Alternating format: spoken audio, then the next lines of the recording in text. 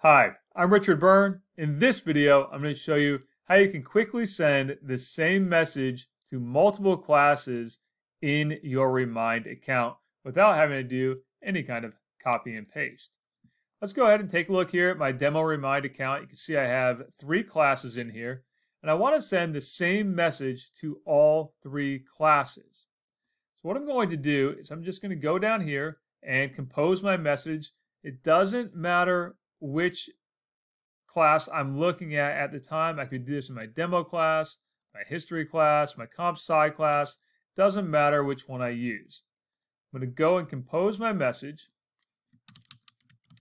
Reminder, tomorrow is picture day.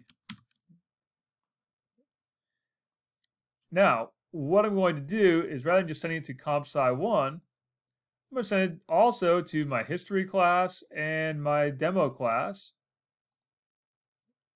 And now I can still add a file to it. I can still upload a picture or a video.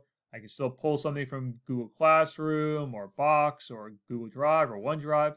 Whatever I want to do, I can still send it to all three classes at the same time. So rather than going into each individual class and composing that message, do it all in one fell swoop and I can send it immediately, or let's say I want to schedule it. Well, I'm going to send it out a little bit later tonight. Maybe I'll send it out at 5:55 p.m. and we can schedule it.